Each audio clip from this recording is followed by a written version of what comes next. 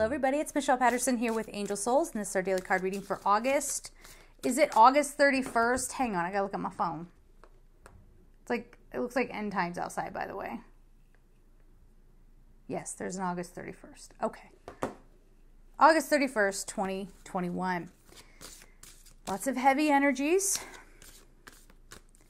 No more escaping our duties as human beings.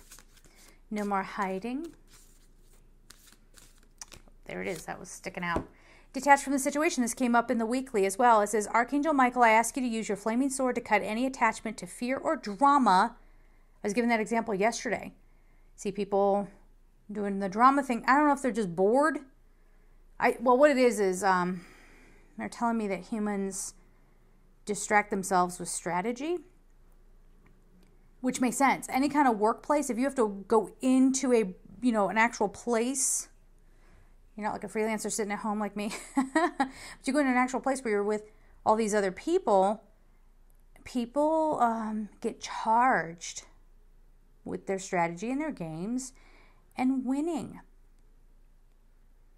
Think about men, you know, who are in power, maybe abusing their power conquering the people around them and, you know, stuff like that. So, anyway, this says Archangel Michael, I ask you to use your flaming sword to cut any attachment to fear or dramas that I may be centered in the knowingness that peace is everywhere within me and this situation. Again, don't just, you know, skip ahead.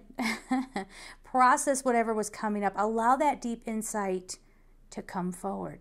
And I really encourage everyone to not do this thing of as much as you can, not judging people maybe that you know that man that is abusing his power maybe he doesn't care about others or maybe it's a coping mechanism.